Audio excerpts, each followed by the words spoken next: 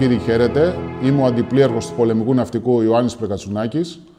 Σήμερα βρισκόμαστε στην Υπηρεσία Ιστορίας Ναυτικού με την ευκαιρία της επαιτίου της μάχης της Κρήτης και στο πλαίσιο μιας σειράς διαλέξεων και ομιλιών με σκοπό την ανάδειξη της ναυτικής και όχι μόνο ιστορίας μας. Η σημερινή ομιλία έχει ως θέμα τη μάχη της Κρήτης μέσα από προσωπικές μαρτυρίες για τη μάχη του Ηρακλείου. Όπως όλοι γνωρίζουμε, η Ελλάδα μπήκε στο Δεύτερο Παγκόσμιο Πόλεμο επίσημα την 28η Οκτωβρίου 1940. Εδώ ραδιοφωνικός σταθμός Αθηνών. Έκτακτον ανακοινωθέν. Η Ελλάδα από τις 6 πρωινής της σήμερον ευρίσκεται εις εμπόλεμον κατάσταση προς την Ιταλία οι Ιταλικές στρατιωτικές δυνάμεις προσβάλλουν από τις 5 και 30 πρωινής σήμερον τα ημέτερα τμήματα προκαλύψεως της ελληνοαλβανικής μεθορίου. Και πολύ γρήγορα οι Ιταλοί βρέθηκαν σε δύσκολη θέση με αποτέλεσμα να επέμβουν οι γερμανικές δυνάμεις την 6η Απριλίου με την εκδήλωση της γερμανικής επίθεσης κατά της Ελλάδας και τη μάχη των οχυρών που ακολούθησε. Οι Γερμανοί πολύ σύντομα διέσπασαν τη συμμαχική και την ελληνική άμυνα και κατάφεραν στις 27 Απριλίου να μπουν στην Αθήνα, ενώ μία μέρα νωρίτερα, στις 26 Απριλίου δηλαδή, εκδηλώνεται η πρώτη αεραποβατική επιχείρηση στην Ελλάδα από το δεύτερο Σύνταγμα Αλεξιπτωτιστών με σκοπό την κατάληψη του Ισμού της Κορίνθου. Η κατάληψη βέβαια πραγματοποιήθηκε παρά το γεγονός ότι ανατινάχθηκε η γέφυρα, δεν κατελήφθη ακέραια, όμως απέτυχε σαν επιχείρηση διότι οι σύμμαχοι είχαν ήδη υποχωρήσει και δεν κατάφερε η επιχείρηση αυτή να ανακόψει τη συμμαχική υποχώρηση.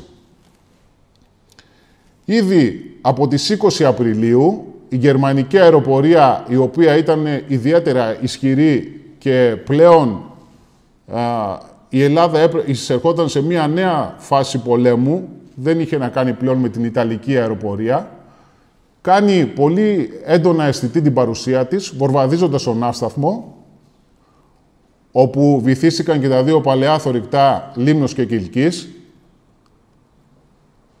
Και στις 20 Απριλίου βυθίζεται στην περιοχή των Μεγάρων και το αντιτορπιλικό ψαρά. Η φωτογραφία η οποία βλέπουμε δείχνει την περιοχή της Πάχης Μεγάρων, φαίνεται χαρακτηριστικά το νησάκι, με εμπορικά πλοία τα οποία βορβαδίστηκαν από τα γερμανικά αεροσκάφη και βυθίστηκαν.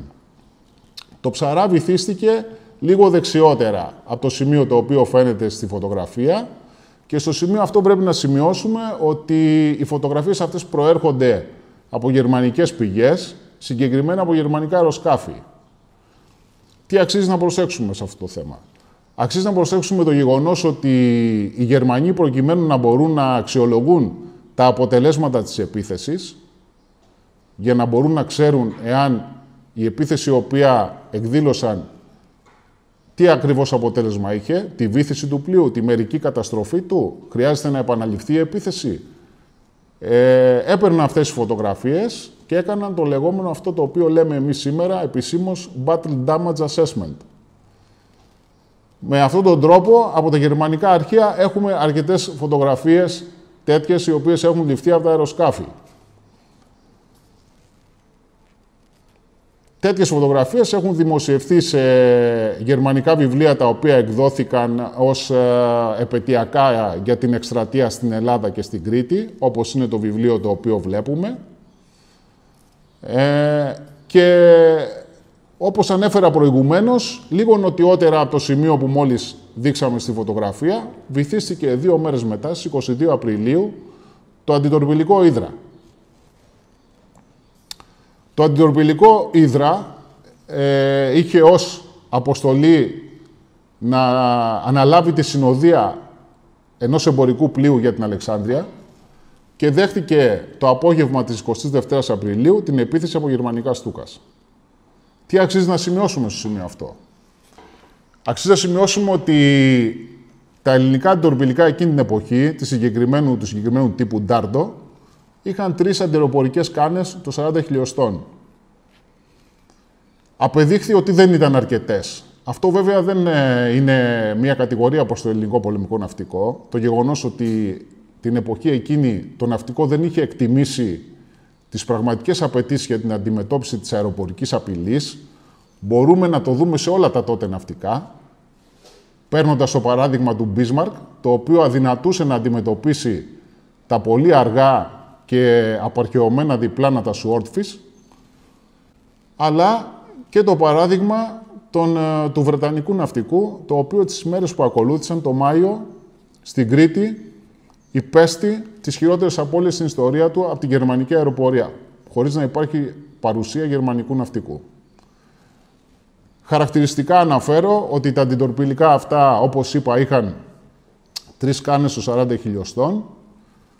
Στη συνέχεια, όσα επιβίωσαν και πήγαν στην Αλεξάνδρεια, ε, εξοπλίστηκαν με δύο ακόμα πυροβόλα των 20 χιλιοστών, ενώ οι Αμερικάνοι, μετά και την εμπειρία του πολέμου στον Ειρηνικό και τους Καμικάζι, τα φραμ, τα αντιτορπιλικά τα οποία σχεδίασαν το 1945 και δεν πρόλαβαν να εισέλθουν στον πόλεμο, είχαν 23 αντιεροπορικές κάνες. Οπότε εδώ μπορούμε να δούμε την εξέλιξη των, ε, του ναυτικού σε ό,τι αφορά τον αντιεροπορικό πόλεμο μέσα από τις εμπειρίες του πραγματικού και τα διδάγματα του πραγματικού πολέμου. Το Ήδρα λοιπόν βυθίστηκε, σκοτώθηκε ο κυβερνήτης του. Είχα συναντήσει το γιο ενός ναύτη, του ναύτη κρεμασμένου, ο οποίος ήταν πλήρωμα του Ήδρα όταν βυθίστηκε και διεσώθη ο κρεμασμένος. Στη φωτογραφία βλέπουμε το φύλλο πορείας το οποίο έλαβε όταν παρουσιάστηκε δύο μέρες μετά στον Άσταθμο, 24 Απριλίου και βέβαια έλαβε φύλλο πορείας με αόριστη άδεια. Άδεια επαόριστο διότι πολύ απλά δεν είχαν τι να τον κάνουν. Πλέον ε, το μέτωπο είχε καταρρεύσει και ο στόλος προσπαθούσε να διαφύγει στη συνέχεια στην Αλεξάνδρεια. Ο Ναύτης Κρεμασμένος είχε πει ότι ο Αρλιώτης, ο οποίος ήταν αξιωματικός σε ένα πύργο, πυροβόλου, είχε τραυματιστεί τόσο βαριά, ο οποίος αυτοκτόνησε με το περίστροφό του. Ήταν τόσο σκληρές συνθήκες, από τη μαρτυρία αυτή μπορούμε να καταλάβουμε πόσο σκληρές ήταν οι συνθήκες, και ότι πραγματικά το ελληνικό πολεμικό ναυτικό πέρασε διαπυρός και σιδήρου για να μπορέσει να πολεμήσει τη γερμανική αεροπορία και τελικά να καταφέρει, όσοι κατάφεραν, να φτάσουν στην Αλεξάνδρεια. Όπως είπα και προηγουμένως, 20 Απριλίου έχουμε την περίφημα αερομαχία των Αθηνών. Ο εικονιζόμενος είναι ένας Γερμανός άσος, Σόφους Μπάγκοε, ο οποίος πετούσε μέσα με 110. Ο Μπάγκοε καταφέρνει τις 20 Απριλίου, δεν είναι βέβαια εξακριβωμένο, του πιστώνεται όμως κατά πολλούς η κατάρριψη, του Μάρμαντιουκ Πάτλ. Ο Πάτλ ήταν ο καλύτερος Βρετανός πιλότος, μάλλον ο καλύτερος πιλότος της ΔΡΑΦ, διότι ήταν Νοτιοαφρικάνος, του Δευτέρου Παγκοσμίου.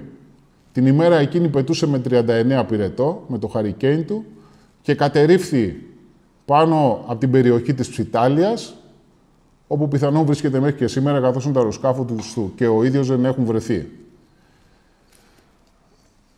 Στη συνέχεια όμως και ο ίδιος ο Μπάγκοε, περίπου ένα μήνα μετά, 14 Μαΐου, καταρρύπτεται από τον εικονιζόμενο, τον Τζέραλτ Βέστενρα, Νεοζηλανδό, στο αεροδρόμιο του Ηρακλείου. Και εδώ πάλι αξίζει να σημειώσουμε ένα θέμα το οποίο αφορά την ε, τεχνολογία και την εφαρμογή της στο τακτικό επίπεδο, διότι ως στρατιωτικός και όχι ως ιστορικός, ως στρατιωτικός που είμαι, μου αρέσει να μελετάω το, το τακτικό επίπεδο και να βγάζω συμπεράσματα, τα οποία έχουν άμεση σχέση με αυτό, ο Βέστερν απαιτούσε Gladiator. Το Gladiator ήταν ένα διπλάνο, ίσως το πιο αργό καταδιωτικό αεροσκάφος του Δευτέρου Παγκοσμίου, απαρχαιωμένο, και πιστώνεται με την κατάρριψη του Μπάγκοε. Ο Μπάγκοε πετούσε μέσα στο 110, το πιο γρήγορο αεροπλάνο. Πώς γίνεται τώρα το πιο αργό αεροπλάνο να καταρρύπτει το πιο γρήγορο αεροπλάνο; Το κλειδί σε αυτό είναι ότι οι Βρετανοί το 1941, και ξαναλέω την ημερομηνία, οι Βρετανοί το 1941 είχαν δύο κινητούς σταθμούς ραντάρ στην Κρήτη. Ο ένας είχε τοποθετηθεί στα Χανιά και βγήκε εκτός λειτουργίας αρκετά γρήγορα. Ο δεύτερος που ήταν στο Ηράκλειο όμως έκανε πολύ καλή δουλειά. Είχε τοποθετηθεί σε ένα ύψωμα ε, νότια του αεροδρομίου του Ηρακλείου και από εκεί εντόπιζαν όλα τα αεροσκάφη τα γερμανικά τα οποία έρχονταν από, τη, από το βορρά, από τη θάλασσα δηλαδή, και έδιναν εγκαίρως με ασύρματο σκράμπλ στους πιλότους αεροδρόμου του Ηρακλείου. Οπότε δεν ευνηδιάζονταν οι δυνάμεις οι Βρετανικές στο αεροδρόμιο και πάντα είχαν έτοιμα αεροσκάφη τα οποία περίμεναν τα γερμανικά. Με αυτόν τον τρόπο μπορούσαν να αξιοποιήσουν τα απαρχαιωμένα Gladiator και να προξενήσουν ζημιά στα πολύ τεχνολογικά ανώτερα γερμανικά αεροσκάφη. Θα πούμε στη συνέχεια για τον Πάγκοε. Όπως είπαμε προηγουμένως, ε, οι σύμμαχοι είχαν έγκαιρα υποχωρήσει και δεν απο, απεκόπη η υποχώρησή τους στον Ισμό και συγκεκριμένα στις 29 Απριλίου ο Νεοζηλανδός υποστράτηγος Φράιμπεργκ έφτασε στην Κρήτη προκειμένου να επιθεωρήσει τα στρατεύματά του. Διότι το εκστρατευτικό σώμα, το βρετανικό της κοινοπολιτείας μάλλον, κατά ένα μεγάλο μέρος αποτελείται από νεοζηλανδικές μονάδες και επειδή δεν επαρκούσαν τα μέσα κατά την υποχώρηση να μεταφερθούν όλες αυτές τις μονάδες στην Αίγυπτο, αρκετές από αυτές ξέμειναν στην Κρήτη ως ενδιάμεσο σταθμό. Πήγε λοιπόν ο υποστράτηγος Φράιμπεργκ να δει τι γίνεται με τις μονάδες του και την επόμενη μέρα έρχεται η διαταγή ότι αναλαμβάνει διοικητής των δυνάμεων Κρήτης, της Creforce. Ο Φράιμπεργκ, το πρώτο πράγμα που διαπίστωσε προφανώς ήταν η έλλειψη εφοδίων. Γιατί η υποχώρηση είχε ως αποτέλεσμα όλος ο βαρύς εξοπλισμός και τα οχήματα να παραμείνουν στην ε, κυρίως Ελλάδα. Οι στρατιώτες οι οποίοι ήρθαν στην Κρήτη είχαν μόνο τον ατομικό τους οπλισμό και τα ατομικά τους εφόδια. Άρα, ένα σημαντικό πρόβλημα ήταν η έλλειψη εφοδίων. Και αυτό πρέπει να το συνδυάσουμε με το γεγονός ότι την περίοδο εκείνη πλέον στην ε, Βόρεια Αφρική οι Βρετανοί δεν είχαν μόνο να αντιμετωπίσουν τους Ιταλούς, αλλά και το Africa Corps του Ρόμελ. Οπότε η αποστολή εφοδίων από την Αφρική στην Κρήτη ήταν ιδιαίτερα δυσχερής, διότι έπρεπε να αποφασίσουν τι μπορούν να στείλουν σε βάρος των δυνάμεων στη Βόρεια Αφρική και ο Βέιβελ δεν ήταν ιδιαίτερα πρόθυμος να το κάνει, να στείλει τα εφόδια. Ε, Παρ' όλα αυτά, ο Φράιμπεργκ 16 Μαΐου αναφέρει ότι είναι αισιόδοξος για την άμυνα του νησιού. Από τη μεριά τους, οι ελληνικές δυνάμεις, οι οποίες είχαν μεταφέρει στο νησί τους νεοσύλλεκτους. Πολύ σοφά ο ελληνικός στρατός είχε μεριμνήσει έτσι ώστε οι νεοσύλλεκτοι από τα κέντρα εκπαίδευσης να μεταφερθούν στην Κρήτη και να σχηματίσει μια αξιόμαχη, όσο μπορούσε να είναι αξιόμαχη δύναμη, για την άμυνα του νησιού και στις 4 Μαΐου το Υπουργείο Στρατιωτικών χώρισε το νησί σε τέσσερα διαμερίσματα, τα Χανιά δηλαδή, το Ρέθυμνο, το Ηράκλειο και τη Νεάπολη. Τώρα, στις 19 Μαΐου, μία μέρα πριν τη μάχη, αποχωρούν όλα τα βρετανικά αεροσκάφη από το νησί. Αυτό τι σημαίνει; Αυτό είναι μία ένδειξη ότι δεν υπήρχε ισχυρή θέληση για τη διατήρηση του νησιού. Διότι εάν παρέμενε η Βρετανική αεροπορία με ικανές δυνάμεις στο νησί, τότε το αποτέλεσμα θα ήταν σίγουρα διαφορετικό. Δεν θα μπορούσε να, μια αεραποβατική δύναμη να έχει επιτυχία όταν είχε να αντιμετωπίσει ισχυρή αεροπορική δύναμη επί του νησιού. Σε ό,τι αφορά τώρα τους Γερμανούς, 25 Απριλίου εκδόθηκε η διαταγή νούμερο 28 για την επιχείρηση Ερμής, όμως το Γενικό Επιτελείο της Βέρμαχτ και ειδικά η αξιωματική του στρατού δεν έβλεπαν με πολύ καλό μάτι το γεγονός ότι η επιχείρηση είχε ανατεθεί ε, στο, στην Luftwaffe. Και αυτό γιατί; Οι αλεξιπτωτιστές, παρά το γεγονός ότι στους περισσότερους στρατούς ανήκουν στο στρατός ξηράς, εκείνη την εποχή στο γερμανικό στρατό ανήκαν στη Luftwaffe. Γιατί η Luftwaffe ίσον Γκέρινγκ. Όταν μιλάμε για Luftwaffe, εννοούμε Γκέρινγκ. Ο Γκέρινγκ ήταν τι, ήταν ο υπουργός, ο υπουργός Εσωτερικών και άρα ο επικεφαλής της αστυνομίας στην κυβέρνηση του Χίτλερ, τον Ναζί. Οπότε, όταν δημιουργήθηκε το Σώμα των Αλεξιωτιστών, ζήτησε εθελοντές αστυνομικούς. Σχηματίστηκε κυρίως από εθελοντές αστυνομικούς. Γι' αυτό το λόγο και ανήκα, ανήκε στην Luftwaffe. Οι αξιωματικοί του στρατού επομένως θεωρούσαν ότι οι αξιωματικοί της αεροπορίας είναι ρασιτέχνες στον αγώνα στην ξηρά, δεν είναι το αντικείμενό τους και πιθανόν όπως αποδείχθηκε των υστέρων είχαν δίκιο. Τώρα, οι Γερμανοί το σχέδιο τους προέβλεπε την ε, άφηξη στο νησί σε δύο κύματα, γιατί δεν επαρκούσαν τα αεροσκάφη για τη μεταφορά όλων των δυνάμεων, δηλαδή των 10.000 αλεξοριστών και των ε, ορεινών κυνηγών. Συγκεκριμένα 7.000 ορεινοί κυνηγοί θα μεταφέρονταν από τη διαθαλάσσης και άλλοι 5.000 στη συνέχεια με αεροσκάφη που θα προσγειώνται σε αεροδρόμια.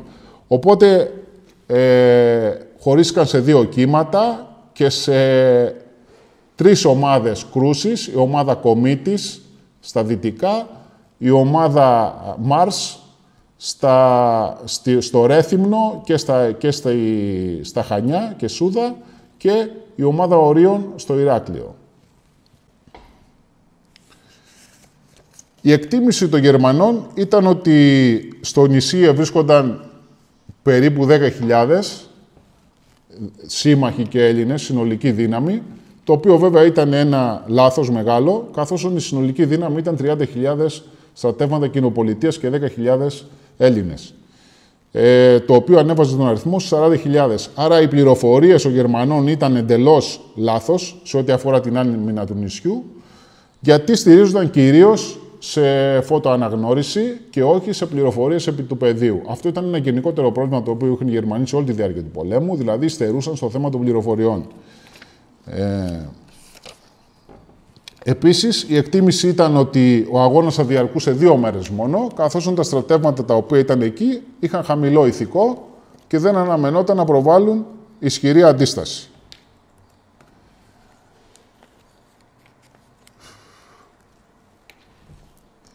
Τώρα, στην Κρήτη, όπως είπα προηγουμένως, είχαν μεταφερθεί από τα κέντρα εκπαίδευσης αρκετοί νεοσύλλεκτοι. Είχαν όμως καταφέρει και κάποιες μονάδες και είχαν υπο, υποχωρήσει στο νησί. Δυστυχώς δεν είχε καταφέρει να έρθει συντεταγμένα η πέμπτη μεραρχία Κρητών και αυτό ήταν μια μεγάλη απώλεια για την άμυνα του νησιού. Όμως, ανάμεσα σε αυτούς που κατάφεραν και έφτασαν στην Κρήτη, ήταν και ο υπολοχαγός Θεόδωρος Καλίνος, ο οποίος τον βρήκε ο πόλεμος, ουσιαστικά η γερμανική επίθεση στο οχυρό Καλή, στη γραμμή Μεταξά, ως αξιωματικός του οχυρού. 9 Απριλίου όμως, όταν δόθηκε εντολή για συνθηκολόγηση των οχυρών, ο Καλίνος έφυγε με τους άντρες του, με αρκετούς άντρες του, και κατάφερε, περνώντας, φτάνοντας στη δάφνη του Αγίου Όρους και περνώντας διαδοχικά στη Λίμνο, στη Λέσβο, στη Χίο, βρέθηκε στη Σαντορίνη. Εκεί το πρόβλημά του ήταν πώς θα καταφέρει να πάει στην Κρήτη, διότι η Λουφθάφε, όπως είπαν, σάρωνε κατά τη διάρκεια της ημέρας όλο το Αιγαίο, οπότε ό,τι κυκλοφορούσε ε, ήταν καταδικασμένο να βυθιστεί. Έπρεπε λοιπόν να προλάβουν μέσα στη νύχτα, γιατί τότε δεν υπήρχαν τα μέσα για να γίνουν νυχτερινές επιχειρήσεις από τα αεροσκάφη, τουλάχιστον ό,τι αφορά τον βορβαδισμό στο έδαφος, την προσβολή στόχων στο έδαφος και στη θάλασσα, ε, να καταφέρουν να πάνε στην Κρήτη. Αφού απείλησαν τον καπετάνιο ενός μικρού motorship ότι τον απείλησαν με τα όπλα, τον ανάγκασαν να τους μεταφέρει στην Κρήτη και κατάφεραν αισίως να φτάσουν στο Ηράκλειο και εκεί ο Καλίνος ανέλαβε ένα τομέα ανατολικά του αεροδρομίου για την άμυνά του. Ένας άλλος στρατιώτης, αυτός μάλιστα ήταν ε, νεοσύλλεκτος, ήταν ο Χρήστος Ρουσόπουλος. Ο Ρουσόπουλος έφυγε από το χωριό του στο νέο χειμώνιο στον Εύρο 3 Απριλίου. Δηλαδή τρεις μέρες πριν από την έναρξη της επίθεσης. Έφτασε στο Ναύπλιο, στο κέντρο εκπαίδευσης, συνέχεια μεταφέρθηκε στην Κρήτη. Ε, φτάνει στο Ηράκλειο και εκεί αναφέρει στο ημερολόγιο του ότι 14 Μαΐου είδε ένα αεροσκάφος το οποίο έπεσε κοντά στο αεροδρόμιο του Ηρακλείου, έπεσε στη θάλασσα. Και την επόμενη μέρα είδε στην ακτή τα πτώματα του, πληρώ, του πληρώματος, των δύο μελών του πληρώματος και κομμάτια του αεροσκάφους. Κοιτάζοντας τα αρχεία της Λουφτβάφε, 14 Μαΐου, συντριβή στη θάλασσα, κοντά στο αεροδρόμιο του Ηρακλείου, είναι ο Σόφους Μπάγκοε, που αναφέραμε προηγουμένως. Και εδώ βλέπουμε πώς η αφήγηση ενός απλού στρατιώτη, αγράμματου, ε, γράφοντας απλά αυτό που βλέπει, έρχεται και δένει με τα επίσημα γερμανικά αρχεία. Οι Σκοτσέζοι τώρα, την άμυνα του αεροδρομίου την είχαν αναλάβει κατά ένα μεγάλο μέρος οι δυνάμεις του σκοτσέζικου τάγματος του Blackwatch. Ο κύριος που βλέπουμε είναι ο David Hutton, και ένα άλλο κομμάτι το είχαν αναλάβει κάποιες δευτερεύουσες μονάδες πυροβολικού μαζί με ένα τάγμα Αυστραλιανό. Ο David Hutton ε, είναι μια πολύτιμη πηγή μαρτυριών για την άμυνα του αεροδρομίου και συγκεκριμένα ανέφερε ότι όταν έφτασαν στην Κρήτη, το κύριο μέλημά τους ήταν να οργανώσουν αμυντικές τους θέσεις. Οι Γερμανοί τώρα. Ένας από τους Γερμανούς που πολέμησε ο Ηράκλειο ήταν ο εικονιζόμενος Γκέρχαλ Μπρόντερ. Ο Μπρόντερ ε, αναφέρει ότι όταν μεταφέρθηκαν με φορτηγά και πέρασαν από τη γραμμή μεταξά, ε, αυτό που το έκανε εντύπωση ήταν δύο πράγματα. Το ένα ήταν η, τα μεγάλα νεκροταφεία με το μεγάλο αριθμό τάφων των Γερμανών αλπινιστών οι οποίοι είχαν πολεμήσει στη μάχη των οχυρών, οι μεγάλες απώλειες δηλαδή που είχαν, και το άλλο ήταν ότι η καλή η σχεδίαση και η τομή βολής των οχυρών. Οι Γερμανοί λοιπόν έρχονται στην Ελλάδα, μεταφέρονται με τρένα και με φορτηγά, στρατοπεδεύουν, δεν γνωρίζουν ποιος θα είναι ο τελικό τους σκοπός και όπως βλέπουμε στις φωτογραφίες έκαναν διακοπές. Τι έκαναν, ηλιοθεραπεία, έξοδος στις κοντινές πόλεις και μπάνιο. Απολάβαναν την ελληνική φύση και τον ελληνικό ήλιο. Η μισή από αυτούς που βλέπουμε στις φωτογραφίες αυτές και είναι εξακριβωμένο, δύο-τρεις μέρες μετά από αυτές τις φωτογραφίες που τους βλέπουμε, σκοτώθηκαν στο Ηράκλειο. Αυτή ήταν η ιδιαιτερότητα των αλεξοπτιστών, οι οποίοι μπορούσαν να βρεθούν στον πόλεμο μέσα σε δευτερόλεπτα. Από εκεί που είναι αποκομμένοι μακριά από το πεδίο της μάχης, μεταφέρονται σε αεροπλάνο και μέσα σε δευτερόλεπτα βρίσκονται μέσα στη ζώνη πυρός. Ήταν για πρώτη φορά στα χρονικά οι νέες συνθήκες που δημιουργούσαν οι δυνάμεις αυτές αερομεταφερόμενες. Ένας από τους ε, αξιωματικούς τους Γερμανούς, ο οποίος έπεσε στο Ηράκλειο, ήταν ο εικονιζόμενος, ήταν ο κόμις Μπλίχερ. Ο Μπλίχερ ήταν από αριστοκρατική οικογένεια, απόγονος στρατάρχη Μπλίχερ που πολέμησε τον ε, Ναπολέοντα στο Βατερλό. Αξίζει να σημειώσουμε ότι στο Ηράκλειο σκοτώθηκαν δύο εξέχοντα μέλη της γερμανικής αριστοκρατίας. Ο ένας ήταν ο Μπλίχερ, ο άλλος ήταν ο εγγονός του Φον Μπίσμαρκ. Και να πούμε ότι για να δείξουμε και πόσο σημαντικά ήταν τα ονόματα αυτά στη Γερμανία, και το Μπλίχερ και το Μπίσμαρκ ήταν θορυκτά του πολεμικού ναυτικού του γερμανικού, τα οποία βέβαια βυθίστηκαν στον πόλεμο, αλλά φανταζόμαστε πόσο σημαντικές οικογένειες ήταν αυτές. Και οι δύο σκοτώθηκαν στο Ηράκλειο. Συγκεκριμένα ο Μπλίχερ έχασε και τα δύο αδέρφια του την ίδια μέρα στην περιοχή του αεροδρομίου. Τρία αδέρφια λοιπόν από αριστοκρατική οικογένεια την ίδια μέρα στο Ηράκλειο. Αυτό είναι το τελευταίο γράμμα που έστειλε στη μητέρα του, στο οποίο μάλιστα αναφέρει στο τέλος ότι έχω την αίσθηση ότι σύντομα θα χρησιμοποιηθούμε σε επιχείρηση. Δεν ήμασταν εμείς, εάν άκουσες τα επίκαιρα, εννοούσε την επιχείρηση στον ισμό της Κορίνθου, διότι ήταν το δεύτερο σύνταγμα, αυτός ανήκε στο πρώτο σύνταγμα. Αλλά δεν μπορώ να σου πω περισσότερα, γιατί είναι απόρριτο και πρέπει να, να τηρούμε τους κανόνες μυστικότητας. Βέβαια, όταν έλαβε το γράμμα η μητέρα του, αυτός ήταν ήδη νεκρός και τα δύο του αδέρφια. Όλα... Όλα έτοιμα λοιπόν για την επίθεση. Ξεκινάει η επίθεση, όπως είχαμε πει και το σχέδιο. Το δεύτερο κύμα τώρα, που πάει να απογειωθεί το μεσημέρι, αντιμετωπίζεις το πρόβλημα που βλέπουμε στη φωτογραφία. Ε, τα αεροδρόμια τα οποία ήταν ουσιαστικά χωράφια, δεν ήταν τίποτα το ιδιαίτερο, σε διάφορα σημεία γύρω από την Αττική, όταν προσπαθούν τα αεροσκάφη να απογειωθούν, σηκώνουν πάρα πολύ μεγάλα σύννεφα σκόνης, τα οποία αργούν να κατακαθίσουν, με αποτέλεσμα να καθυστερούν τα αεροσκάφη να απογειωθούν. Αυτό έχει ως αποτέλεσμα τον αποσυντονισμό των ε, αεροσκαφών των μεταγωγικών με τα μαχητικά, διότι ήταν σχεδιασμένα έτσι ώστε τα μαχητικά αμέσως πριν τη ρήψη των αλεξοριστών να πολυβολούν και να βορβαδίζουν την περιοχή της ρήψης, έτσι ώστε να αναγκάζονται οι αμυνόμενοι να καλυφθούν και να μην είναι στις θέσεις τους και να αντιμετωπίσουν τους ελεξοριστές. Αυτό δημιούργησε ένα χάος σε καθυστέρηση. Προφανώς δεν επετεύθηκε ο συντονισμός, με αποτέλεσμα αυτό να συνδράμει βέβαια, να συμβάλλει στις αυξημένες απώλειες των Γερμανών εξωριστών. Για το Ηράκλειο, επικεφαλής ήταν ο συνταγματάρχης Μπρόγερ, ο οποίος είχε γίνει και καρποστάλ. Ήταν, μάλιστα, είχε τον τίτλο του πρώτου Γερμανού αλεξιωτιστή. Θεωρητικά ήταν ο πρώτος Γερμανός αλεξιωτιστής το 1936. Ε, τα αεροσκάφη πετούσαν χαμηλά πάνω από τη θάλασσα για να μην εντοπιστούν και εδώ βλέπουμε το ημερολόγιο, μια καταχώρηση από το ημερολόγιο των Βρετανών, οι οποίοι με χαρακτηριστικό βρετανικό φλέγμα και ενώ γύρω τους γίνεται χαμός, πέφτουν βόβες, πολυβολισμοί, σκοτώνεται κόσμος, κάποιος κύριος σημειώνει ότι 16 και 03 δόθηκε υπερερυθρός συνεργιασμός, 16 και 13 ξεκινάει ο βορβαδισμός με καθέτο εφορμήσεως και 16 και 39 ο λόγος Τσάρλι αναφέρει ότι ένα κοντινό πυροβόλο Μπόφορς σαρώθηκε, προφανώς από τον βορβαδισμό. Ο εικονιζόμενος που είδατε ήταν ο ταξιέργος Τσάπελ, διοικητής όλων των δυνάμεων στο Ηράκλειο. Συνεχίζουν οι Βρετανοί το ημερολόγιό τους με ακρίβεια λεπτού και εδώ βλέπουμε την περιοχή ρήψεων. Στο αεροδρόμιο ρήφθησαν ακριβώς πάνω στο αεροδρόμιο τρεις λόγια αλεξοριστών, οι οποίοι σαρώθηκαν αμέσως δεν είχαν καμία τύχη. Μάλιστα σε 20 λεπτά οι απώλειες ήταν γύρω στα 200 άτομα. Όμως αυτό το σχέδιο φαίνεται να είχε δουλέψει στο Βέλγιο, στο Έμπενε Μάιλ, στο Χειρό, καθώς επίσης και στο, στα αεροδρόμια στην Ολλανδία και οι Γερμανοί θεώρησαν ότι επαναλαμβάνοντας τον ίδιο σχεδιασμό θα μπορέσουν να καταλάβουν άμεσα το αεροδρόμιο. Μάλιστα θεωρούσαν ότι την πρώτη μέρα θα έχουν καταλάβει το αεροδρόμιο του Ηρακλείου. Στην ουσία δεν το κατάλαβαν ποτέ. Γιατί πολύ απλά όσες μονάδες έπασαν εκεί δεν έμεινε κανένας ζωντανός.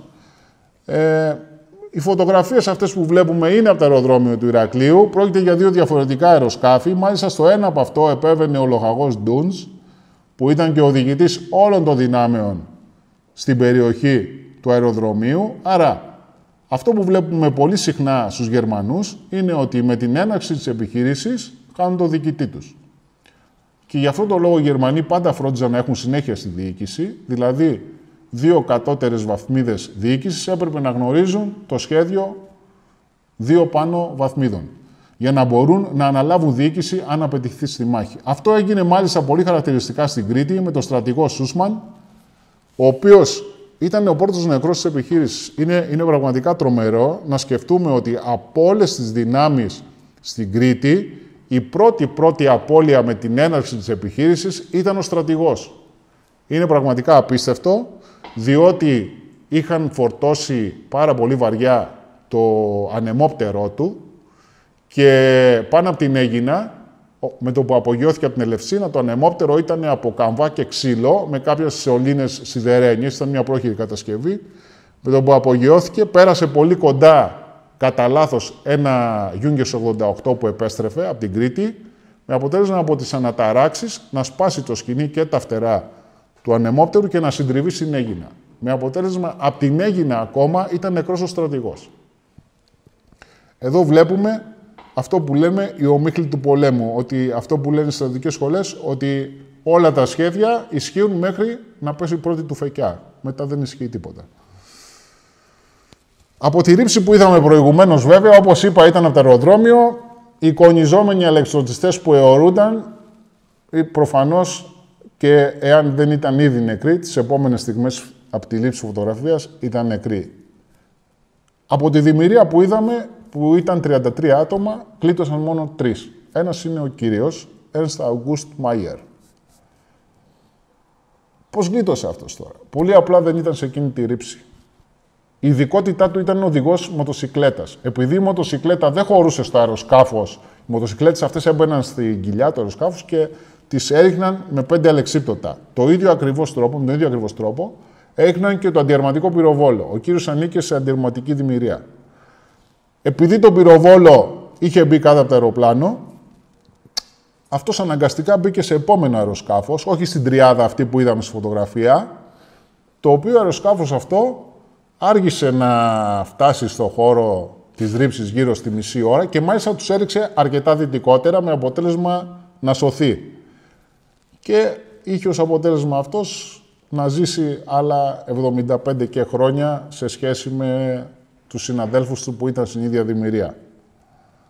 Εδώ βλέπουμε το αεροσκάφος το οποίο πέφτει πίσω από το βράχος στο Κατσαμπά. Ο βράχος αυτός μάλιστα ήταν το αρχηγείο του ταξιάρχου Τσάπελ και οι φωτογραφίες έχουν ληφθεί από τον αξιωματικό πληροφοριών του, ο οποίος είχε ως χόμπι τη βοτανολογία, είχε βγει να φωτογραφίσει και να τραβήξει φιλμ τα λουλουδάκια εκεί στην περιοχή και τα διάφορα φυτά και ξαφνικά είδε τα γερμανικά αεροσκάφη να περνάνε από πάνω. Οπότε έχουμε αυτές τις φωτογραφίες σήμερα. Ένας από τους αλεξοριστές, ο οποίος ήταν μέσα σε αυτό το αεροσκάφος, είναι ο εικονιζόμενος, ο οποίος βέβαια στη συνέχεια και ακόμα και τώρα θεωρείται αγνοούμενος καθώς δεν μπόρεσε να αναγνωριστεί. Μεγάλη ζημιά στους αλεξοριστές κάνουν τα τεθωρακισμένα οχήματα, τα λεγόμενα Brent Carrier, τα επιστριοφόρα. Ο διοικητής του δεύτερου τάγματος, ο λοχαγός Μπούχαρτ, ανέφερε ότι για κάθε ένα από αυτά τα οχήματα έκανε 25 άντρες για να μπορέσει να το εξουδετερώσει. Τι έκαναν αυτά; Εδώ βλέπουμε τις άνδρες του Μπούχαρτ. Βλέπετε ένα ανοιχτό πεδίο με χωράφια. Στη βάση του λόφου που βλέπουμε ήταν κρυμμένα τα Brent Carrier. Όταν έπεφταν οι ηλεκτροσυστές, πολύ απλά έπαιρναν φόρα, είτε τους πάταγαν, είτε τους βγάζουν με το πολυβόλο. Ό,τι προλάβαιναν. Και όντως, για κάθε ένα από αυτά έχανε 25 άτομα, όπως είπε ο ίδιος, όταν ανακρίθηκε στο Έλα Λαμέν, όταν συνελήφθη εχμάλωτο το 1943. Φανταστείτε το 1943 η Γερμανία, επειδή οι, οι Άγγλοι, συγγνώμη, επειδή οργάνωναν τους δικούς τους αλεξοριστές πλέον, γιατί δεν είχαν στην αρχή του πολέμου, ήθελαν να δουν τα διδάγματα από τη μάχη τη Κρήτης. Οπότε συνέλαβαν τον Μπούχαρτ στο Ελαλαμέιν και τι το ρώτησαν, αντί να το ρωτήσουν για τη μάχη στο Ελαλαμέιν, το ρωτούσαν για τη μάχη της Κρήτης. Ε, το ενδιαφέρον τους ήταν αυτό, τι έγινε με τους αλεξοριστέ. Και να πούμε ότι, ότι το κακό κάρμα του Μπούχαρτ προφανώς ήταν η Ελλάδα και οι Έλληνες, διότι και στο Αλαμέιν οι θέσεις του ήταν απέναντι από την ελληνική ταξιαρχία. Εδώ βλέπουμε τάφους στην περιοχή του 8ου λόχου. Όλοι αυτοί ανήκαν, είναι άντρες του Μπούχαρτ. Στην περιοχή αυτή σήμερα είναι το εγκαταλελειμμένο στρατόπεδο Μπετινάκη.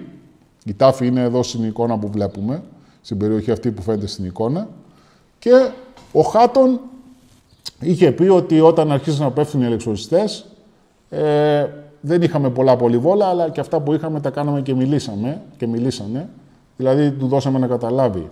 Πολλοί, εδώ βλέπουμε το Χάτον στην Κρήτη, ε, μαζί με την ομάδα του. Ο πολυβολητής ο στρατιώτης Ρίκη, μετά από δύο-τρεις μέρες, σκοτώθηκε σε μια βραδινή περίπολο, στην οποία ο Χάτον τραυματίστηκε και συνελήφθη στη συνέχεια εκμάλωτος.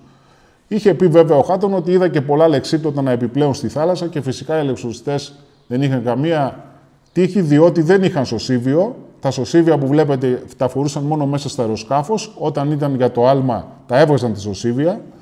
Και φυσικά στο νερό δεν είχε καμία τύχη. Όταν έπεφταν από λάθος εκεί, το αποτέλεσμα ήταν ο πνιγμός. Αυτή είναι η φωτογραφία της κοιλάδας του καρτερού από τις θέσεις των Σκοτσέζων.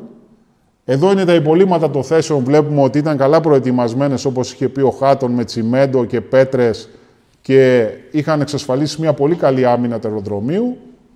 Εκτός όμως από το αεροδρόμιο, οι ρήψεις των Γερμανών ε, συνεχίζονται και δυτικά της πόλης έξω από τα τείχη.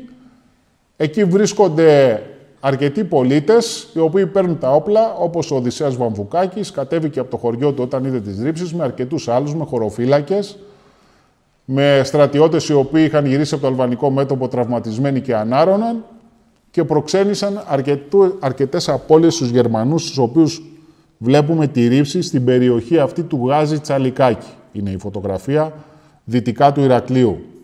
Οι Γερμανοί στην περιοχή εκεί, ε, για αυτοί οχυρώθηκαν σε αυτό τη, την αγρικία Χατζηδάκη, στο μετόχι Χατζηδάκη και τοποθετώντας πολυβόλα στο παράθυρο της αγρικίας προσπαθούσαν να ελέγξουν όλη την περιοχή.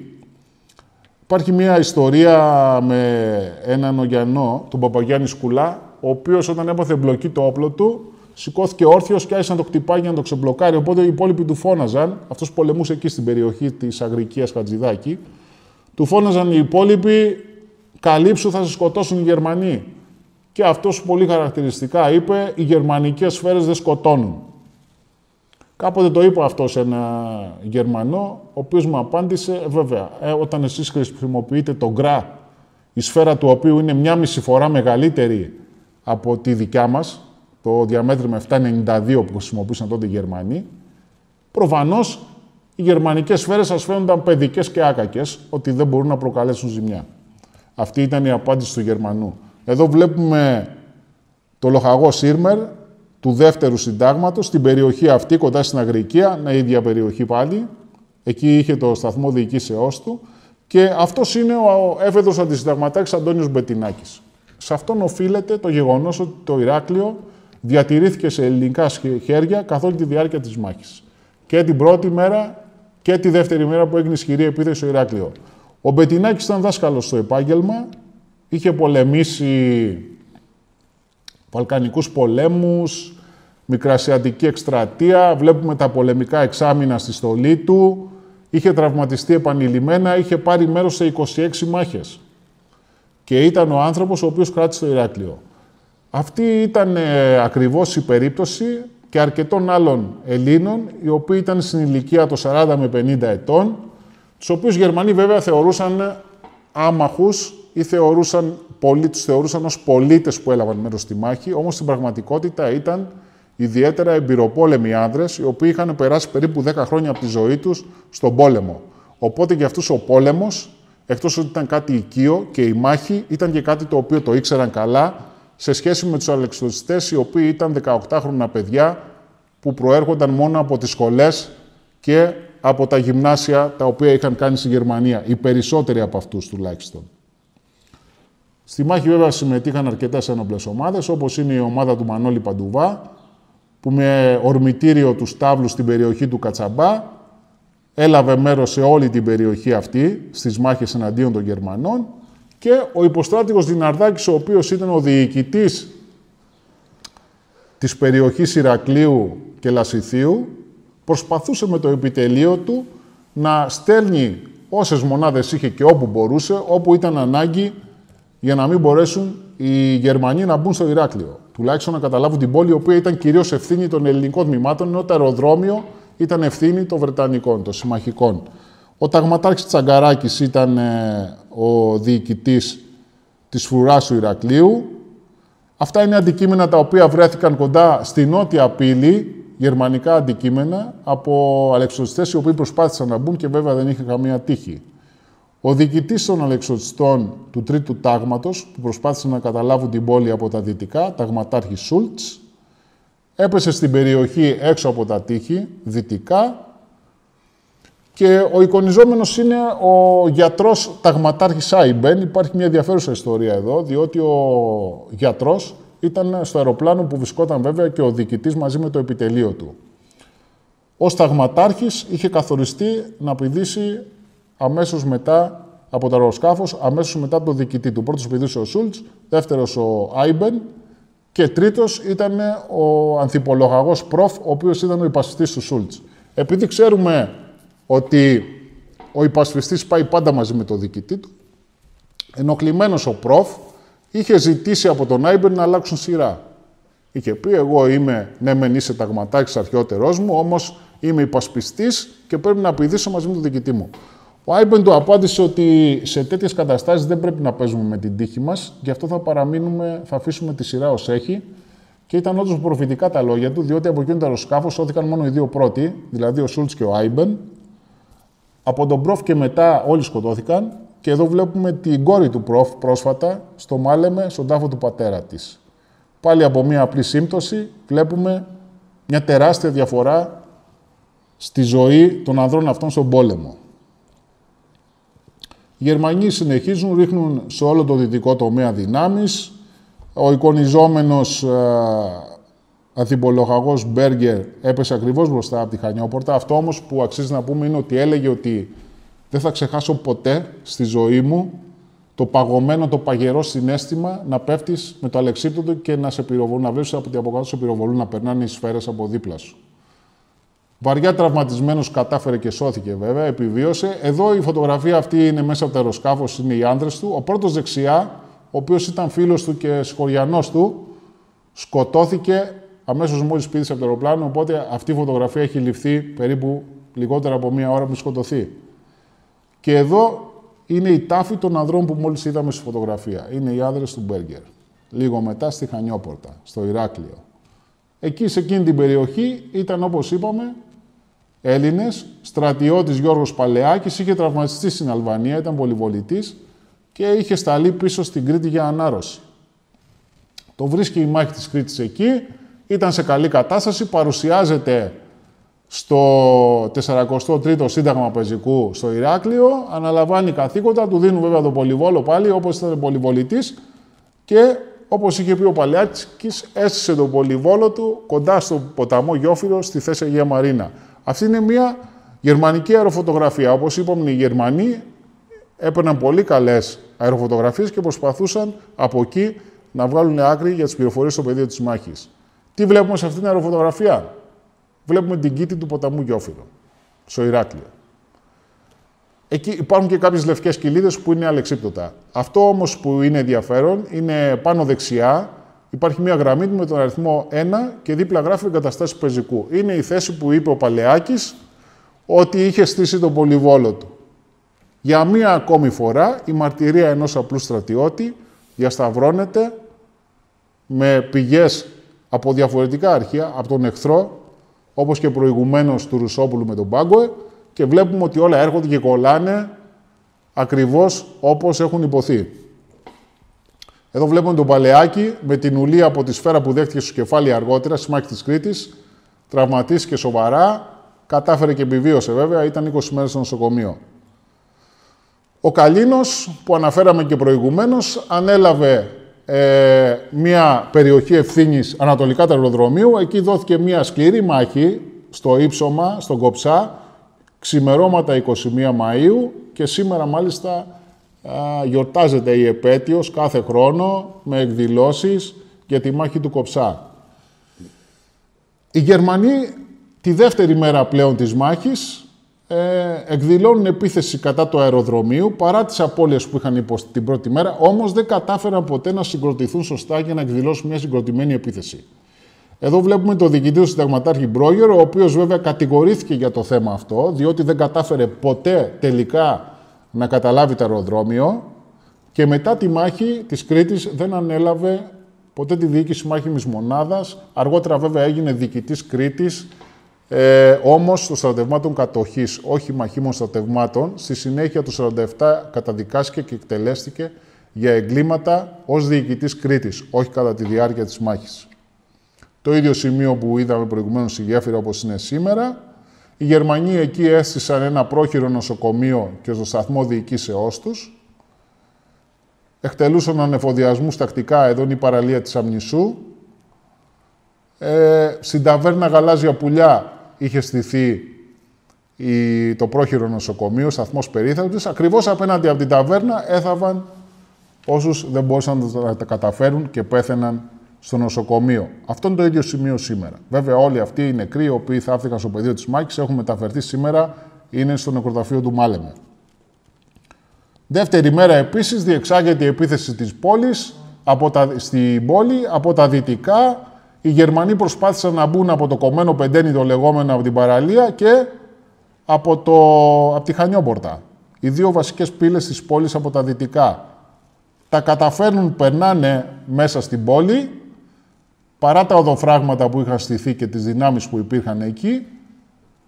Στις οδομαχίες που ακολουθούν σκοτώνεται ο ταγματάρχης Τζουλάκης, ίδια περίπτωση με τον Πετινάκη, παλέμαχος βετεράνος της Μικρασιατικής Εκστρατείας, τραυματισμένος επανειλημμένα, μεγάλη πολεμική εμπειρία, σκοτώνται στις οδομαχίες στο κέντρο του Ηρακλείου. Εδώ είναι ο Τζουλάκης, τραυματισμένος στη Μικρασιατική Εκστρατεία. Και θαύτηκε τότε για λίγο στην αυλή στην εκκλησία του Αγίου Τίτου. Σήμερα τα οστά του βρίσκονται στο μνημείο της Μάχης της Κρήτης. Διακρίνονται πολλοί χωροφύλακες. Σταγματάει Σκουρομιχελάκης, ο οποίος εκτελέστηκε το 42 μαζί με τους 62 μάρτυρες. Ε, οι Γερμανοί τελικά αναγκάζονται να υποχωρήσουν. Αρκετοί από αυτούς που παγιδεύονται στο κτίριο που βλέπουμε στα αριστερά, στην έξοδο προς τη Χανιόπορτα και εκεί ε, οι ελληνικές δυνάμεις βάζουν φωτιά στο κτίριο και τους αναγκάζουν να βγουν έξω και να παραδοθούν.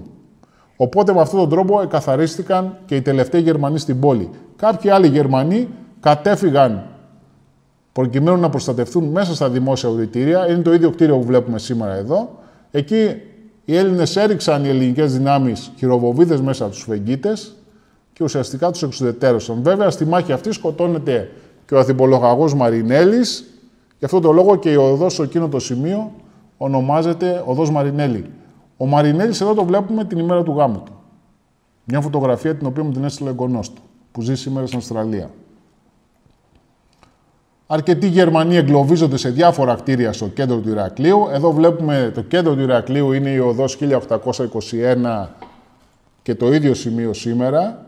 Στο κτίριο που βλέπουμε δεξιά στην τράπεζα μπορούμε να δούμε τα σημάδια από τη μάχη ακόμα και σήμερα στις κολόνες και στους τοίχους, από τις σφαίρες. Και στην περιοχή αυτή βέβαια συμμετέχει στις μάχες ο Άγγλος αξιωματικός της SOE, αρχαιολόγος Τζον Πέντλεμπουρι, ένας μύθος στην Κρήτη, ο γνωστός και ως Λόρενς της Κρήτης, κατά το Λόρενς της Αραβίας. Ο Πετλέμπουρη είχε σταλεί εκεί διότι συμμετείχε παλαιότερα στις ανασκαφές στην Γνωσό, στη Βίλα Αριάδνη έμενε, που είχε χτίσει ο Εύανς. Μιλούσε άπτεστα κριτικά και αρχαία ελληνικά, ε, σπουδαγμένος αρχαιολόγος και αργότερα έγινε εξωματικός της SOE, είχε αναλάβει να οργανώσει αντιστασιακές ομάδες για να πολεμήσουν τους Γερμανούς. Στις 21 Μαΐου φεύγει από τη Χανιόπορτα προκειμένου να πάει δυτικά στον Κρουσόνα να βρει τις ομάδες και τις επαφές του, να οργανώσει αντίσταση και παρά τις προειδοποιήσεις ότι υπάρχουν Γερμανοί μην πας από εκεί, αυτός δεν άκουγε, πήγε δυτικά, έπεσε πάνω σε Γερμανούς αλεξοριστές και σκοτώθηκε. Ε, όπως είπα, έχει μείνει ένας θρύλος για τον Πεντρέμπουρη και ονομάζεται ο Λόρενς της Κρήτης. Αυτοί είναι οι Γερμανοί οι οποίοι συνελήφθησαν μέσα στα διάφορα κτίρια, στο Ηράκλειο. Πιθανόν η φωτογραφία έχει ληφθεί στην οδός Ευρώπης, που βλέπουμε εδώ σήμερα.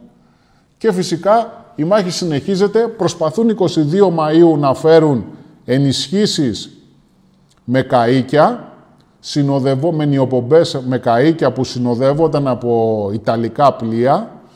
Ε, όμως εκεί τους πετυχαίνει ο Βρετανικός στόλος, νότια της Μήλου, και τους αποδεκατίζει. Βέβαια, με τη σειρά του ο Βρετανικός στόλος, λόγω του ότι έμεινε βόρεια της Κρήτης κατά τη διάρκεια της ημέρας, δεν πρόλαβε να αποτραβηχτεί νότια, διότι αυτό έκανε. Το βράδυ αναπτυσσόταν βόρεια της Κρήτης, με το ξημέρωμα πήγαινε νότια της Κρήτης να βγει εκτός εμβέλειας της γερμανικής αεροπορίας. Η γερμανική αεροπορία με αεροσκάφη που απογειώνονταν από την Ελευσίνα, από την Κάρπαθο και από τους Μολάους, πετυχαίνει το Βρετανικό στόλο βόρεια της Κρήτης και φυσικά πλήρωσε πολύ βαρύ τίμημα.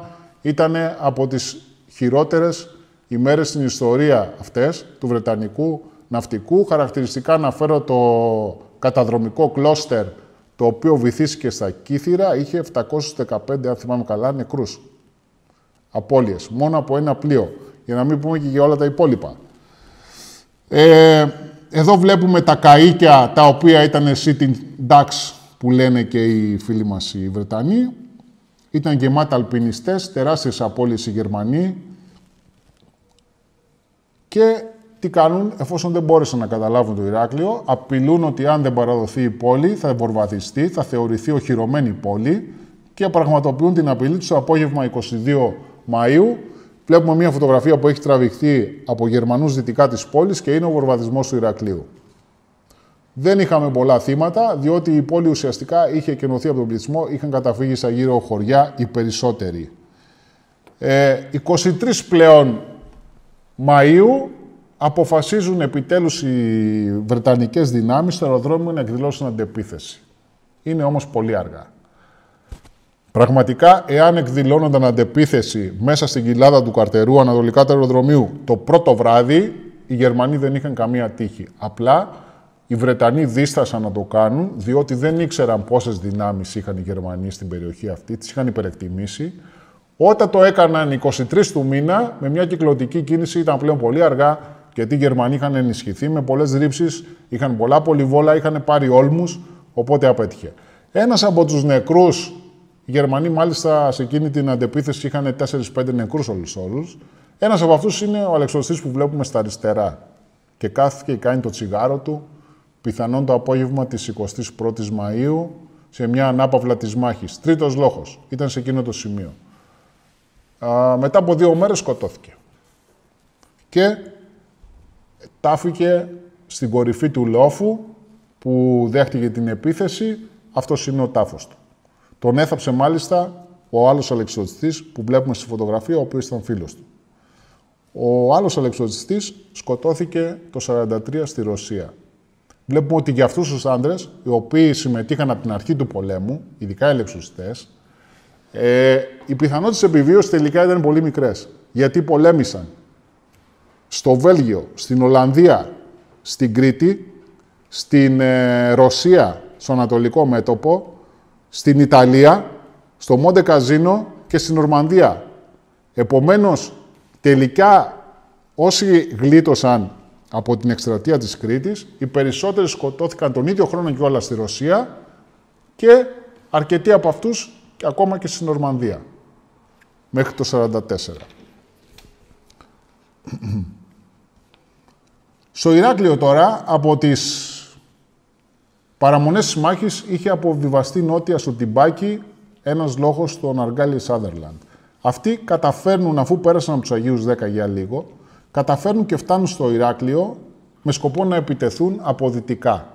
Αυτό είναι ένα εγχειρίδιο με το σήμα του συντάγματος, το οποίο βρέθηκε στην περιοχή κοντά στους Βόρους. Ε, επιτίθονται οι Σκοτσέζοι, δεν καταφέρουν να περάσουν και τελικά αναγκάζονται να παρακάμψουν την περιοχή και να πάνε να ενωθούν με, την αμυντική, με τους αμυνόμενους μέσα στην περίμετρο, πηγαίνοντας από την περιοχή της Κνωσού. Έχουμε φτάσει πλέον 25 με 26 Μαΐου. Οι Γερμανοί έχουν περικυκλώσει όλη την περιοχή του Ηρακλείου και του αεροδρομίου και ο ταξιάρχος Τσάπελ έστειλε ένα μήνυμα στο Κάιρο και ρώτησε τι να κάνω. Να προσπαθήσω να διασπάσω τον κλειό δυτικά και νότια; Η απάντηση από το Κάιρο ήταν το λιμάνι χρησιμοποιείται ακόμα. Εάν είναι το λιμάνι χρησιμοποιήσιμο. Όταν κάνεις μία ερώτηση και σου απαντάνε με ερώτηση, αυτό συνήθως δεν είναι πολύ καλό, διότι ήδη στον τομέα του Μάλεμε είχε χαθεί το παιχνίδι, οι Γερμανοί είχαν καταλάβει το αεροδρόμιο, είχαν αποβιβάσει δυνάμεις και είχαν, είχαν ξεκινήσει την υποχώρηση πλέον οι συμμαχικές δυνάμεις, οπότε παρά το γεγονός ότι είχαν αποτύχει 100% οι Γερμανοί στο Ηράκλειο, πλέον δεν, είχε κανένα, δεν υπήρχε και καμία πρόθεση να συνεχιστεί η μάχη από τους Βρετανούς και είπαν στο Τζάπελ να εκενώσουν μυστικά τον τομέα Ηρακλείου το ξημέρωμα της 29ης Μαΐου, δηλαδή βράδυ 28ης προς ξημέρωμα 29ης. Οι Γερμανοί, οι οποίοι δίσταζαν βέβαια, ο Στούντεν έλεγε στο διοικητής, ο Μπρόγερ, πρέπει να καταλάβεις το αεροδρόμιο. Ο Μπρόγερ έλεγε, δεν έχω δυνάμεις, θέλω ενισχύσεις. Οπότε είχε προγραμματίσει 29 Μαΐου να εκδηλώσει την επίθεση. Θεωρούσε ότι θα είναι αρκετά ενισχυμένος. 29 Μαΐου όμως ήταν μία μέρα πολύ αργά. Οι Βρετανοί είχαν ήδη υποχωρήσει. Εδώ βλέπουμε τη διαταγή υποχώρησης, η οποία εν μέσω του πανικού πάλι είναι δακτυλογραφημένη σύμφωνα με τον κανονισμό αλληλογραφίας. Βλέπουν τα διαστήματα σε γραφομηχανή όπως προβλέπετε, με αύξον αριθμό αντιτύπου, πίνακα διανομής κανονικά και περιγράφει όλες τις διαδικασίες που θα πρέπει να γίνουν κατά την υποχώρηση, προκειμένου οι Γερμανοί να μην αντιληφθούν ότι υποχωρούν. Γιατί εάν τους ε, έπιαναν το βράδυ, την ώρα της υποχώρησης, ήταν πολύ ευάλωτοι οι Βρετανοί, θα συλλαμβάνονταν όλοι εκμάλλου τους ουσιαστικά. Ε, πάνω στη βιασύνη τους βέβαια, το τάγμα το Younger Lancaster ξέχασε τα regimental colors που λένε οι Βρετανοί, τις σημαίες του συντάγματος, ε, που βλέπουμε εδώ και στη δεξιά σημεούλα είναι γραμμένες όλες οι εκστρατείες, εκτός βέβαια από την Κρήτη, γιατί δεν πρόλαβαν. Βρέθηκε με τα πολεμικά σε ένα σεντούκι αυτή η σημαία. Φτάνουν στο λιμάνι του Ηρακλείου τα μεσάνυχτα περίπου δύο καταδρομικά και έξι αντιτορπιλικά. Παίρνουν τον κόσμο. Μία η ώρα είχε ολοκληρωθεί η επιβίβαση. Φεύγουν, αλλά στις τρεις η ώρα, στο ένα αντιτορπιλικό λόγω του ότι είχε δεχτεί μία βόμβα κοντά, κολλάει το πιδάλιο Από ένα απλό, μία απλή βλάβη. Κόλλησε το πιδάλιο. Αναγκάζονται, μετεπιβιβάζουν τον κόσμο σε άλλο αντιτορπιλικό, το βυθίζουν αυτό έξω από το Ηράκλειο για να μην πέσει στα χέρια του εχθρού. Όμως αυτό τι είχε ως αποτέλεσμα, να καθυστερήσουν έτσι ώστε τους πρόλαβε το πρώτο φως, πολλά πλοία, στο στενό της Κάσου. Εκεί δέχονται την επίθεση στο Στούκας. Πάρα πολλές απώλειες. Ένα αντιτορπιλικό προσπάθησε το Χέρεγουαρτ να προσαράξει εκεί ε, στη νότιο-ανατολική ε, πλευρά της Κρήτης. Όμως, ε, εκεί συνελήφθηκε και μάλιστα το πλήρωμα όλο αυτή συνελήφθησαν εγμάλωτοι. Χαρακτηριστικά μία βόμβα η οποία έπεσε στην τραπεζαρία πληρώματος του, του, Ντάιον, του Ντάιντο, νομίζω, του Ντάιντο ε, σκότωσε 100 άτομα. Διότι όλα τα πλοία ήταν φορτωμένα load to capacity που, που λένε οι Βρετανοί, δηλαδή όσο, όσο πήγαινε και ακόμα παραπάνω. Οπότε με μία βόμβα είχαμε 100 νεκρούς. 280 άτομα έχασαν από τον τομέα του Ηρακλείου στην εκένωση. Δηλαδή, πιθανόν περισσότερους νεκρούς είχαν στην εκένωση οι Βρετανοί παρά στη διάρκεια της μάχης. Και εδώ φαίνεται για μία ακόμη φορά η αξία της αεροπορίας, της αεροπορικής υπεροχής. Τότε ήταν για πρώτη φορά φάνηκε ότι πλέον όταν έχεις αεροπορική υπεροχή, ίσως δεν χρειάζεται να έχεις και ναυτική υπεροχή. Για πρώτη φορά φάνηκε αυτό, παρά το γεγονός ότι από το 1939, γιατί στο Πρώτο Παγκόσμιο Πόλεμο, τα αεροσκάφη ήταν πολύ αδύναμα για να κάνουν ζημιά στα θωρηκτά. Στο Δεύτερο Παγκόσμιο Πόλεμο άρχισε να διαφαίνεται ότι πιθανόν είναι σοβαρή απειλή. Το 1939 είχαν γίνει κάποιες δοκιμές, οι λεγόμενες ship versus aircraft, αεροπλάνο εναντίον πλοίου κτλ. Και είχαν δείξει κάποια πρώτα σημάδια ότι τελικά τα αεροσκάφη είναι υπολογίσιμος αντίπαλος.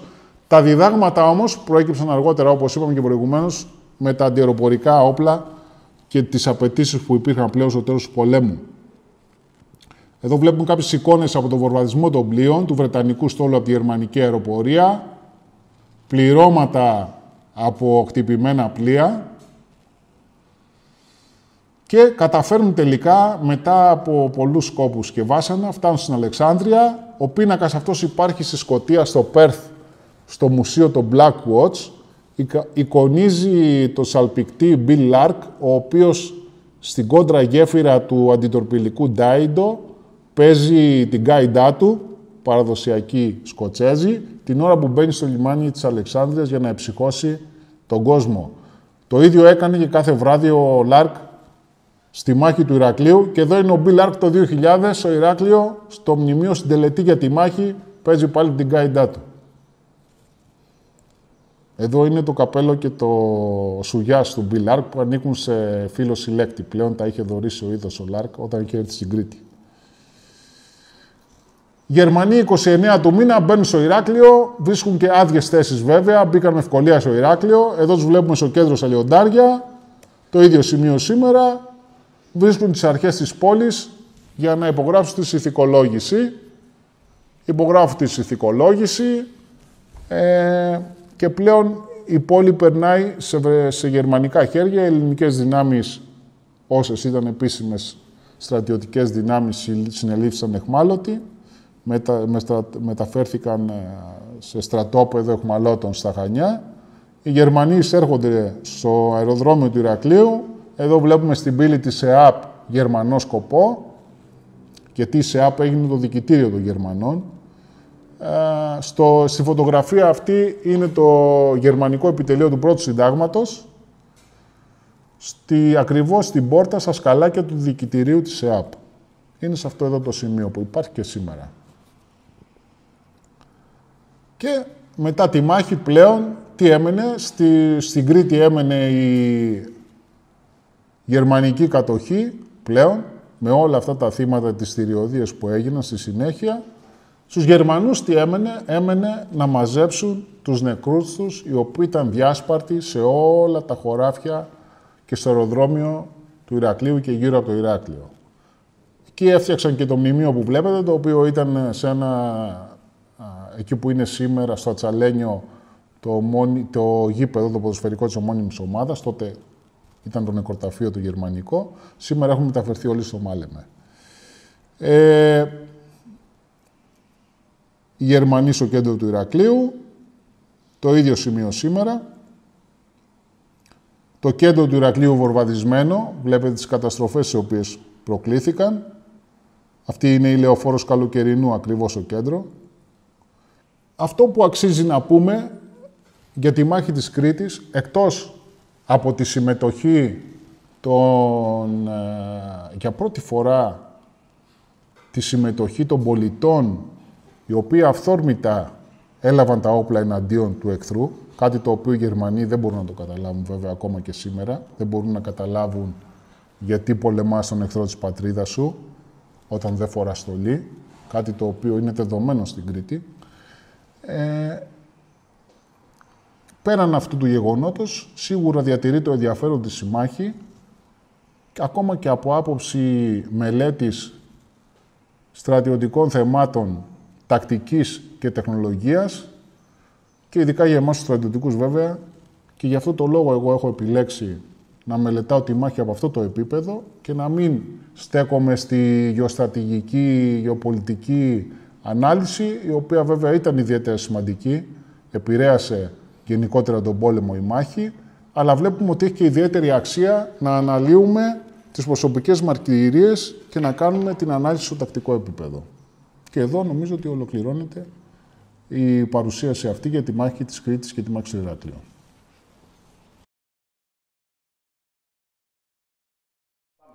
Εδώ βλέπουμε μία φόρμα άλματος Γερμανού αλεξιπτωτιστή με το βασικό εξοπλισμό.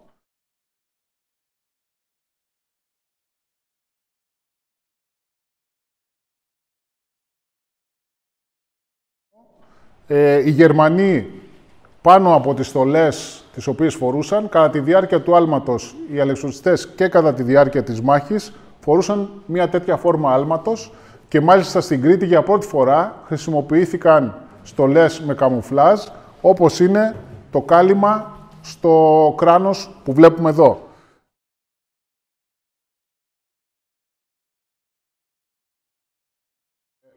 Φανταστείτε μάλιστα ότι οι γερμανικές στολές ήταν μάλινες και πάνω από αυτές τις στολές φορούσαν τη φόρμα που βλέπουμε. Το Μάιο στην Κρήτη λόγω της ζέστης, επειδή δεν μπορούσαν φυσικά Κανείς δεν μπορούσε να αντέξει με τη ζέστη αυτή τη μάλινη στολή. Με την πρώτη ευκαιρία τις έβγαζαν. Πολλές φορές βλέπουμε τους Γερμανούς στη μάχη να είναι μόνο με τη φόρμα άλματος ή άλλες φορές να φορούν βρετανικές τροπικές στολές. Όπως είπα, έφεραν το χαρακτηριστικό κράνος του Γερμανού αλεξοντιστή, το οποίο διαφέρει από τα υπόλοιπα κράνη της Wehrmacht. Είναι εδώ κομμένο και έχει ειδικά σημεία πρόσδεσης για να μπορεί να παραμένει σταθερό κατά τη διάρκεια του άλματος. Ε, το άλλο, τον, από τον υπόλοιπο εξοπλισμό, βλέπουμε το φακό, το οποίο έφεραν όλοι μαζί τους, τα κιάλια και μάλιστα τα συγκεκριμένα είναι της εταιρείας Βαρόφσκι,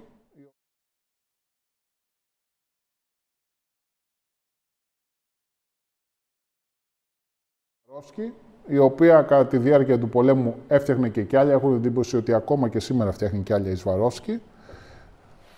Τη φυσικιοθήκη με τους τρεις γεμιστήρες για το υποπολιβόλο MP38 ή MP40 και θήκη χαρτών με μολύβια και μέσα περιλάβανε χάρτες, πηξίδα και τα σχέδια για τη μάχη, την οποία αυτή τη θήκη την έφεραν μόνο οι βαθμοφόροι.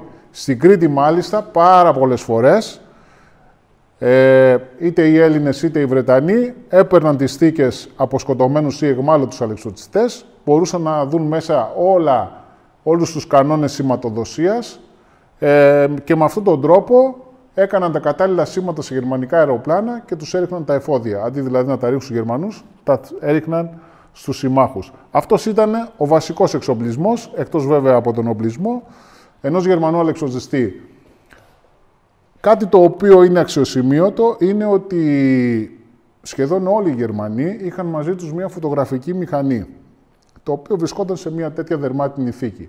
Αυτές οι μηχανές ήταν αγορασμένες ιδιωτικά, δεν ήταν δηλαδή επίσημη χορηγία του γερμανικού στρατού και βλέπουμε πάρα πολύ συχνά σε φωτογραφίες αλεξιπτωτιστών στη μάχη της Κρήτης να έχουν περασμένη στη ζώνη μια τέτοια θήκη. Μάλιστα, κάποιες μηχανές που φτιαχνόταν από την ΑΚΦΑ ήταν τόσο δημοφιλής στους στρατιώτες, οι οποίες είχαν ονομαστεί Soldaten κάμερα, η κάμερα του στρατιώτη δηλαδή.